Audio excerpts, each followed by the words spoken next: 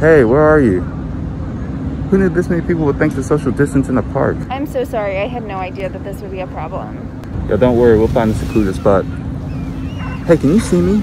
I'm over next to the children running through a water feature and sharing a gigantic dirty towel. Oh, perfect. Um, I'm near the drum circle of people all wearing masks, but whenever they want to make a point, they take them off. Okay, keep walking down the path towards the guy flying a kite in an irresponsibly crowded meadow. Do you mean the path that somehow is still hosting graduation parties?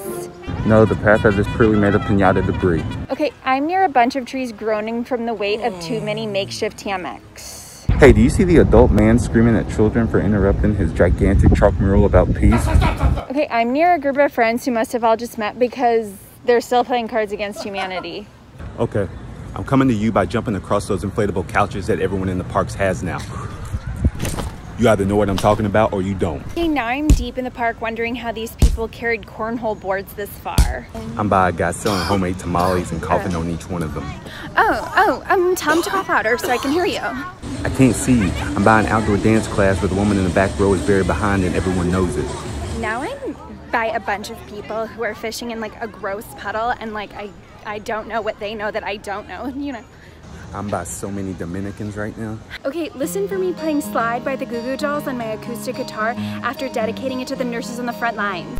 Oh no, I'm playing Slide by the Goo Goo Dolls on my acoustic guitar, but I dedicated it to Alexandria Ocasio-Cortez. Okay, I'm over by a family eating platters of Sonic, but it's like the nearest Sonic is like 100 miles away, so like how did they get that Sonic, you know? Uh, I can't see you past the thousands of people reading The Vanishing Half.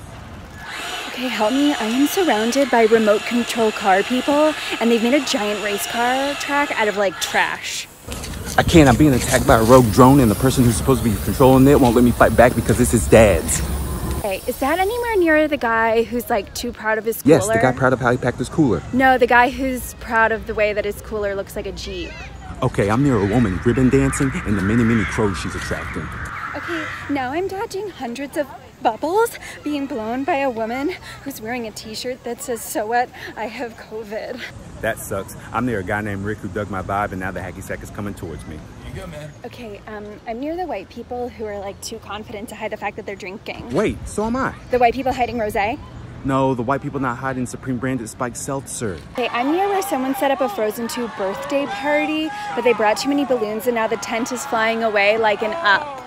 I can't see any inflatable tents because the park fireworks have evolved to be visible during the day. Do you see me? I'm like, um, by the only patch of visible grass in the park. Yeah, I'm by a guy grilling more and more ribs as his family begs that they are too full. Okay, so I'm near a group of very tattooed friends, but one friend has no tattoos and everyone in the park is wondering how he belongs.